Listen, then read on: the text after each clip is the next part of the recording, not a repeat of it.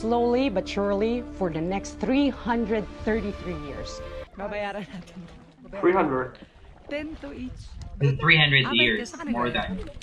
The You know, archipelago like, used to be Spain's how primary long foothold in The Asia. Chinese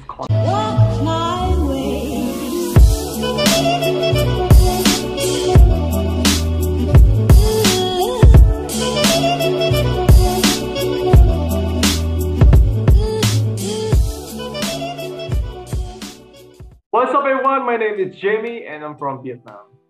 My name is Ryan from the Philippines, but currently living here in Vietnam. We are are buddies. Yes. So today we're gonna try something different a bit, which is uh, we saw a video. It's uh, the title is "Do Filipinos Speak Spanish?" and uh, that is my actually my curiosity. So I want, I really want to, to know that do the Filipino speak in, uh, Spanish because Ryan here he's a Filipino originally he is a Filipino and she, he can speak like uh, basic Spanish pretty well.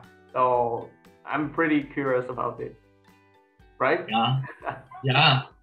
Let's see. Yeah, so Ready? let's figure it out. Y cuando la gente me escuchan hablar en español, todos piensan que en Filipinas hablamos español, pero no. This is interesting. Oh, she, she's traveling around the world. Yeah. She's a traveler. Trish. Trisha. Pilar- No, no, para que, a ver si traigo mi pasaporte. Es un sol, ¿no? Toma. Yeah, pasaporte. I know. No, es muy tarde. ¿De qué Va. país eres? Filipinas. Ah, filipense. Filipinas. The Philippines Yeah. was a former Spanish colony, right? So how come we don't speak Spanish? Or do we? Prior to colonization, the area now known as the Philippines was a group of islands connected by water. Independent, advanced, socially complex, and ethno-linguistically distinct communities ruled by respective tribal leaders.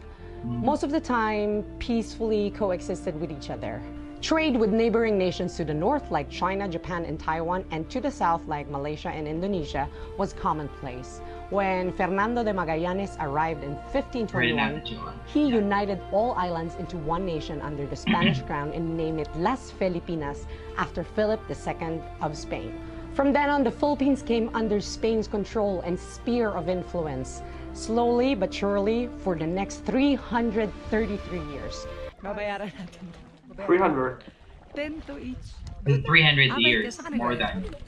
The You know, archipelago like, used to be Spain's how primary long foothold in The Asia. Chinese Due to the Philippines' unique Vietnamese? geographical location, not only did it More become than an important 1,000 base years. for the empire's Wow. stake in the So I can say spice that trade, maybe, it was maybe also I a can say strategic maybe location for I conducting commerce originally the Americas to the from Far East. China. What else? Surprise, surprise! Vietnam Most is towns of and China cities before. also have Hispanic names. Yeah. You've got the obvious ones. Okay, so look at the Towns names. named after places within peninsular Spain and towns See, named the after names saints. are Spanish. Anyone here Sandra. from Nueva Vizcaya, Nueva Ecija, Yeah. Pamplona Negros, Córdoba Yeah, City? Negros. I bet you've That's at least natural. been once to a place named Santa Cruz, San Pablo, or San Nicolas. Another thing worth mentioning is that having a Hispanic last name or Last a name. Hispanic sounding last, Last name, name. is a norm. Yeah. I can bet you that the top 20 Gracias, Filipino last Martinez. names are all Garcia. Hispanic in origin.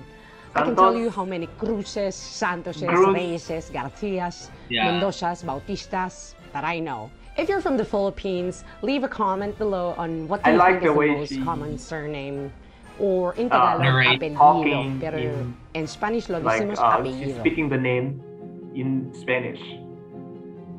To streamline government processes like census and tax collection and to further strengthen their rule, Spanish colonizers enacted a law making it mandatory for everyone to adopt a surname. There was literally a catalog where people can choose Spanish or local surnames from. Most of the indigenous lowland population and some Chinese immigrants as well chose to change their last names to Hispanic last names probably believing that this change might benefit them. Food, Oh yes, you've got afritada, caldereta, Mm. menudo, mechado, longaniza, picadillo, Oh, look at arrocado, that. tocino, tapa, All even Spanish food. The list Adobo. goes on. There are roughly Adobo is around from 4,000 Spain? Spanish loan Yeah, words in Tagalog, the originally. most spoken dialect in the country, and roughly around 6,000 in Bisaya. Another widely Yes, spoken a lot dialect. in Lots of I'm words from are spelled differently or bastardized, and lots of phrases are used in a different mm. context. These two dialects in particular, because the regions where it's most widely spoken were centers of Spanish governance, which are Manila and Cebu. So our dialect has a lot of uh, Spanish words compared to Tagalog. 75. Yeah, 75. Gracias. Almost everyone in the Philippines knows how to count in Spanish up to 100 and they don't even know Yes. it. Así que, por ejemplo, nosotros Uno, también dos, tres, contamos cuatro, 1, 2, 3, cinco. 4, 5, 6, 7, 8, 9, Nueve, 10. The way we say the time in the Philippines is Cinco. also the same. Por ejemplo, les doy un ejemplo, Grave. digamos a la 1, a las 12, a las A la- 3. a las Ese es 12, un a ejemplo the de time. kasi Yes, en is right. Pilipinas. Anong oras na? Ala una na ma. Days of the week Oh. and months are also the same. is Nosotros también the digamos enero, febrero, marzo. Marzo, Abril, Mayo. pero las letras son diferentes. spelling Por is ejemplo, different. Mm. marzo escribimos con S en vez de So, Z. how- Lots of words related to kitchenware or cooking are also January, similar. February. Por ejemplo, Enero, los cubiertos febrero, marzo, abril, cuchara, That is mayo. Spanish, right? eh, mesa, silla, That's casi Spanish. todos los sustantivos, la verdad. And so are things In in, Tagalog, you relation to have- law and governance. And Uh, then there's Chavacano, like a Spanish-based Creole language widely know spoken is in the the month Zamboanga in. Tagalog. I think- Brief I think it's history. the same. In the hopes of further uniting the archipelago under Christianity and under their sphere of influence, the Spaniards established Zamboanga as a foothold in the predominantly Muslim South. A means So that one, was Zamboanga is a the place locals where and the they Spaniards. speak In many like cases, some Spanish, Spaniards will learn the local Spanish. language to gain trust and establish a Yeah. connection with the local That in the population. But in this case, a grammatically simplified form of a language used for communication between two people not sharing common language was established. This is what you call a pidgin, which then eventually turned into Chavacano. Although spelling of words may differ, it is very similar that a person speaking Chavacano can Yes, yes, sufficiently and aptly converse to a Spanish-speaking person. Son de Tailandia. Filipinas. Ah, Aquí está nuestra guía, Mayra. Ella la- eh, va a explicar, ¿qué es eso? Ahorita, ¿a qué te refieres? Well, she speaks During Spain's 333 Spanish well. long rule, Spanish was, of course, a widely spoken language. It was even officially considered a Vietnam, national bro. language alongside English and Tagalog until it officially wasn't in 1987. After 300 years of rule, you'd think Spanish would be widely spoken across the country today, like it is in most Latin American countries, but no. For almost a century now, English has been the country's lingua franca. What happened? Mm. First of all, the majority of the indigenous population of the Philippines remained intact. Unlike in Latin America, where the indigenous population was wiped out not only by the colonizers, but also by imported diseases. Furthermore, because of the Philippines' relative distance and isolation from the rest of the Spanish colonies, not a lot of Spanish people emigrated to the archipelago. Next, in terms of literacy and education, during the Spanish colonial period, as it is today, it is a privileged only reserved for those in the upper class of Philippine society, meaning Spanish born immigrants, also known as Peninsulares, Philippine born Spanish people, also known as Insulares, and half Filipino, half Spanish people, also known as mestizos. Basically, a mm-hmm. minority of the population. In the greater part of colonial rule, the majority of the population didn't have access to education. Despite developing a public school system towards the latter part of colonial rule, the masses still were not able to adequately express themselves in Spanish and were still more comfortable in their native tongue. To add to that, throughout all the years of colonial rule, everyday transactions of the masses were conducted in the native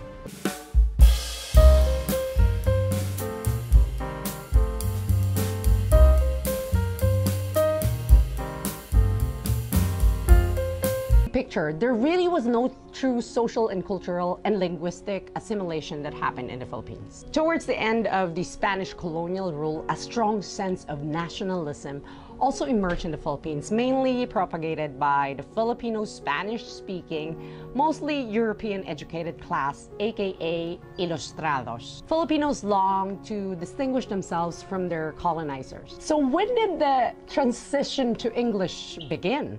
Well, to begin with, Spain ceded the Philippines, Guam, and Puerto Rico to the United States in 1898 under the Treaty of Paris. Mm. This means American dominance in the archipelago henceforth. The Americans also set out to establish a Philippine public school system and a system of governance mirrored after the American systems, all of course anchored in English. The masses now have access to learn a language more than their native tongue. The rest is history, as they say. At the early stages of American colonization, Filipinos ate up American hegemony and they still do. The American dream is still strong amongst Filipinos. Just look at the Filipino diaspora American all dream. across 50 American states. In the Philippines, American Still want pop that? culture still reigns supreme. Uh, Consumer anymore. behavior is still mostly Trouble. dictated by what's trendy in the United States. If you have any other Here's the ideas dream. as to why Filipinos don't speak Spanish, please share your insights in the comment box below and share your thoughts. It's kind of a pena, como digamos en español, because what if we spoke Spanish? Yeah. What would be our life and economy Mm. right now? Right.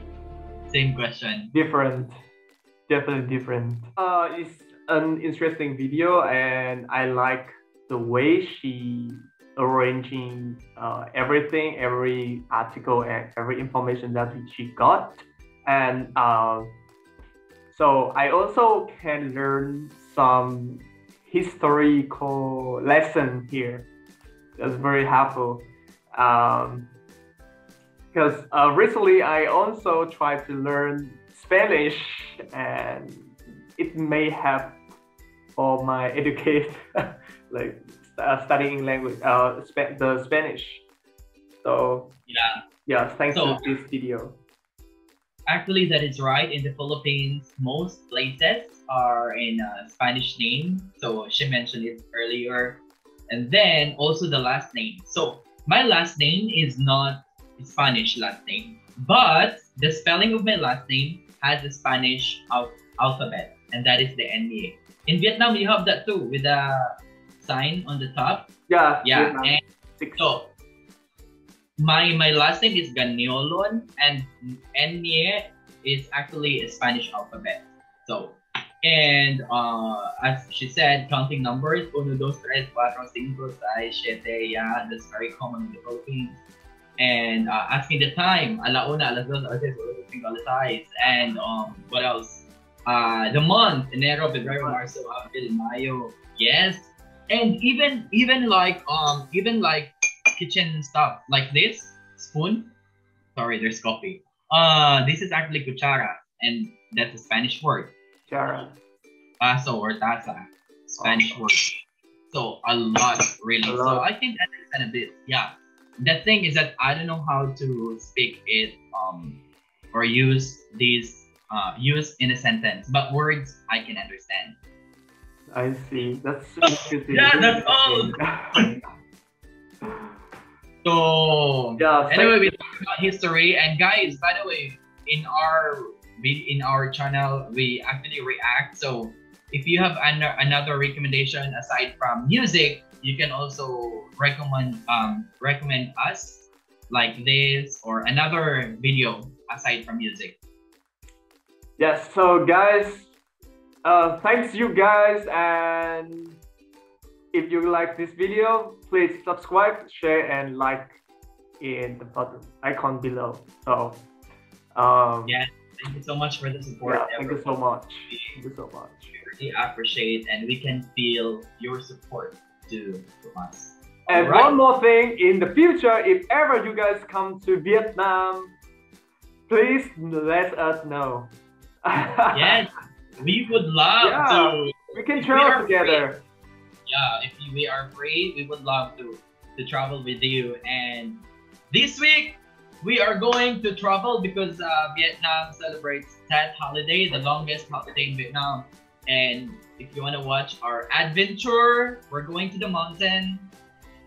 Please stay tuned and click the bell icon so you will get the notification on our next upload. All right. All right. So that's all.